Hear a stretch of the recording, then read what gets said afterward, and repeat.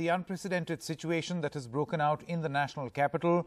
Uh, now, in some of the places that saw violence in the afternoon, uh, there seems to be relative calm, but uh, there are other places like Nangloi where tension continues to build up. These pictures on your screen right now are from Red Fort.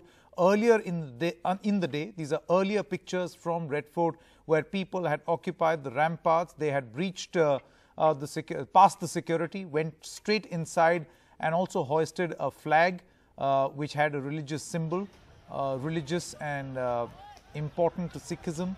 Now uh, the police has completely taken over uh, control of the ramparts of the Red Fort. Uh, they have uh, pushed out all the protesters who had entered. Uh, there was uh, some violence also which was reported and some of these protesters who were injured in this violence were also taken to nearby hospitals. We saw vans taking them, ambulances taking them to hospitals. And, but now the situation continues to be tense uh, in the vicinity of the Red Fort because uh, in the area in and around the Red Fort, you still have people milling around and people teaming up and more and more tractors coming in. How is this situation going to be managed uh, closer to the night is going to be very, very significant. Uh, similar scenes uh, from Nangloi also, where there is a face-off between uh, the police as well as uh, various protesters, as you can see in the screen right now. So this is uh, the developing situation right now. In the meanwhile, internet services has been suspended.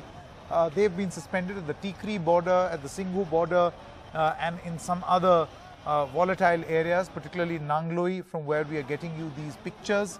Uh, we are also hearing that uh, the Home Minister is holding a meeting with the, the Home Secretary and the Delhi Police Commissioner to review the security system. First of all, to get a sense of uh, how bad things are, to get a report from the Delhi police uh, as to what the what the situation is right now.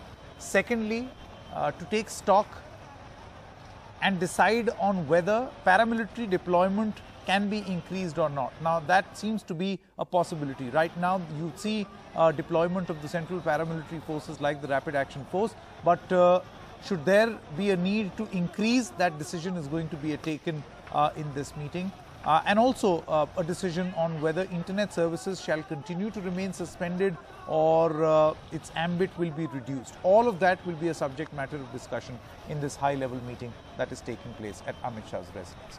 Sunil Prabhu now joins us with all the latest. Sunil, uh, please do tell us uh, uh, what you're hearing on the ground, the situation in most of the areas from the capital. We did get a report from Nangloi.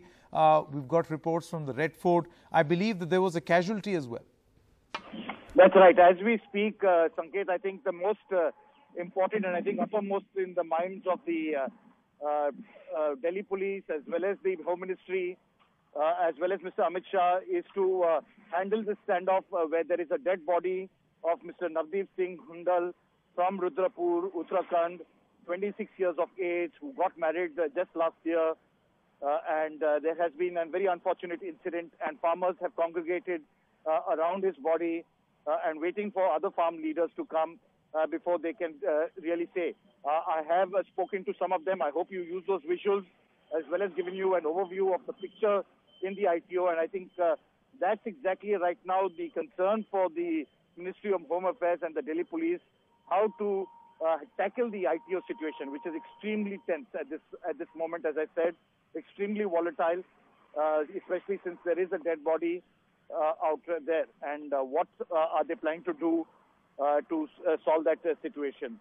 as you rightly pointed out, there are enough of paramilitary forces. usually during the 26th day celebrations, there is always a huge uh, uh, congregation of paramilitary forces. So there is enough of uh, paramilitary forces. it is clearly a colossal failure today of how things went were handled. Uh, not only is the Delhi police responsible, it's also the Ministry of Home Affairs, uh, and many farm leaders are also uh, trying to wash their hands off what is clearly very, very unfortunate. Right.